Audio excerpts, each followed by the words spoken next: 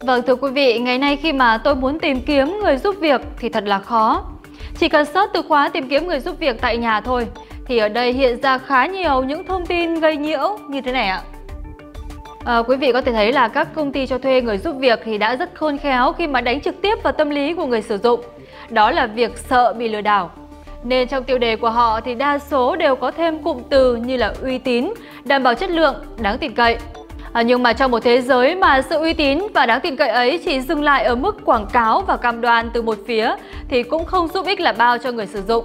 May chăng thì sẽ giúp cho họ cảm thấy an toàn hơn một chút khi mà click vào đường link. À, tuy nhiên thì hiện nay sự có mặt của công nghệ blockchain trong các công ty, doanh nghiệp đã mang lại một luồng gió hoàn toàn mới.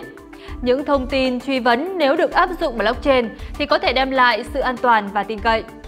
À, cụ thể hơn trong trường hợp tìm kiếm người giúp việc ở đây thì các công ty chủ quản sẽ không cần quảng cáo là họ uy tín đến mức như thế nào.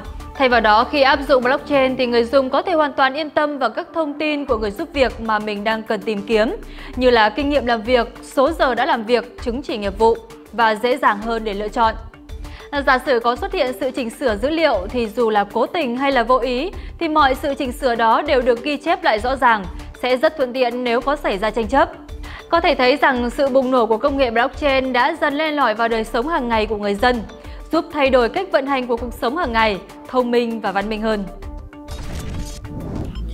Có thể nói, công nghệ blockchain mang tiềm năng rất lớn trong việc định danh số nhằm bảo vệ quyền lợi và nghĩa vụ của người lao động Việt Nam.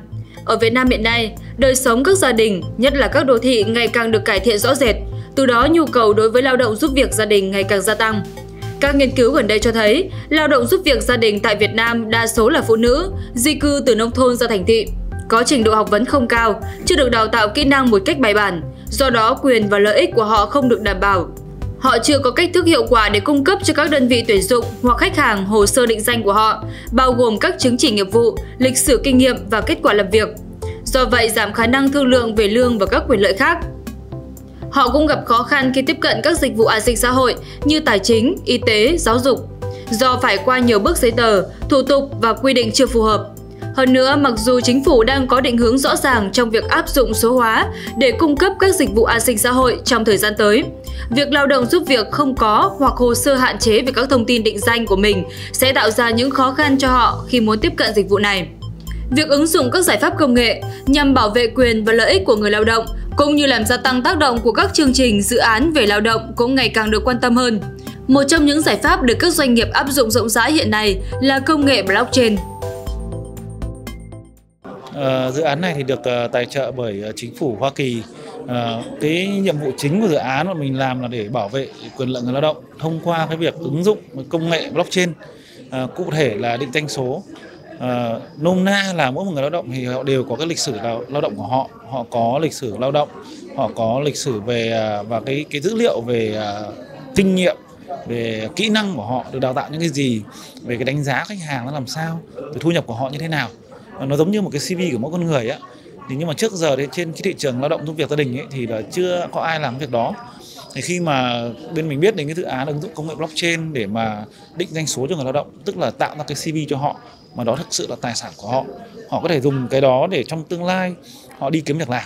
À, đó thì mình tin rằng với cái một cái CV rõ ràng minh bạch một cái CV tốt thì họ sẽ có thể tăng thu nhập của họ trong tương lai. Cũng như là ờ, uh, các bạn hay thường nói là bạn định vị được cái vị trí của mình trong xã hội là ai.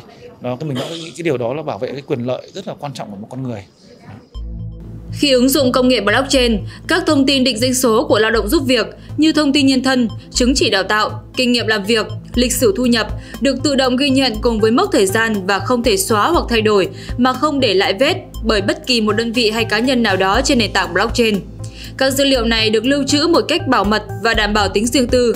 Người lao động có toàn quyền quản lý và truy xuất các dữ liệu này thông qua nền tảng blockchain.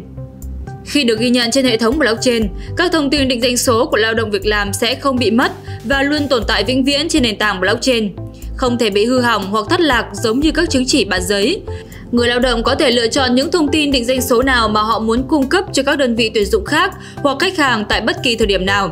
Điều này sẽ tạo điều kiện thuận lợi cho họ khi đi tìm việc, giúp họ tăng khả năng thương lượng về mức lương và quyền lợi khác tương xứng với hồ sơ kinh nghiệm và chứng chỉ nghiệp vụ của họ.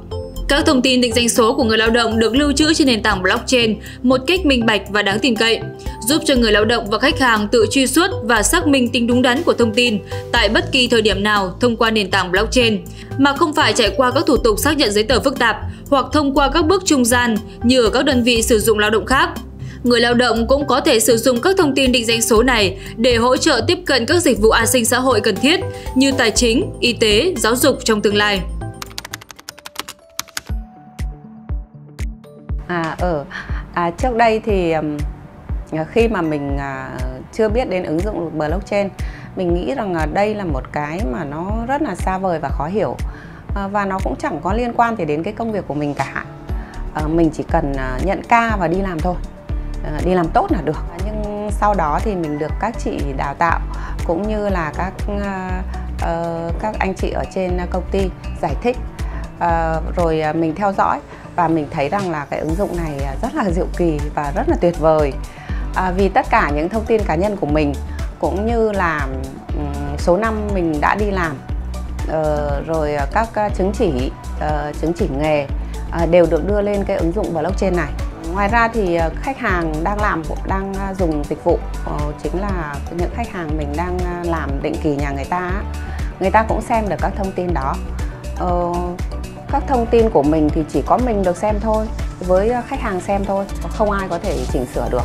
Thì đấy là một cái rất là tuyệt vời. Ừ, trước đây thì mình đi làm mức lương ờ, chỉ ở, à, à, tầm độ khoảng à, 10 14 đến 15 triệu thôi.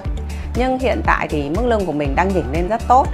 Ờ, trung bình mỗi tháng mình đang nhận là 17 đến 20 triệu. Có tháng thì ờ, chẳng hạn như những tháng Tết thì mình có thể nhận mức lương 23 triệu mình rất là vui Tuy nhiên, việc sử dụng công nghệ blockchain trong việc giải quyết các vấn đề xã hội vẫn còn là rất mới. Những sáng kiến thử nghiệm nhằm cung cấp các bằng chứng thực nghiệm của giải pháp công nghệ đó là rất cần thiết. À, thưa quý vị, rõ ràng là công nghệ blockchain thì đang mang lại sự thay đổi tích cực trong cuộc sống hàng ngày của chúng ta. Những tác động dù chưa quá lớn nhưng mà ở phần nào thì cũng cho thấy rằng là những dấu hiệu của một xã hội văn minh và phát triển nhiều hơn nữa. Tuy nhiên thì à, sự hiện diện của blockchain trong mọi lĩnh vực gắn liền với đời sống hàng ngày của con người thì liệu sẽ đi được xa đến đâu? Có thể là trong 5 năm, 10 năm hay là 15 năm nữa. Chúng ta hãy cùng chờ đợi điều đó nhé.